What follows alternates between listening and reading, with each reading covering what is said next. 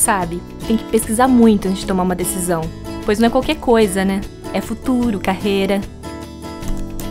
E meu avô sempre dizia: quando a gente trabalha numa profissão que a gente realmente gosta, nem sente que é trabalho. Entra!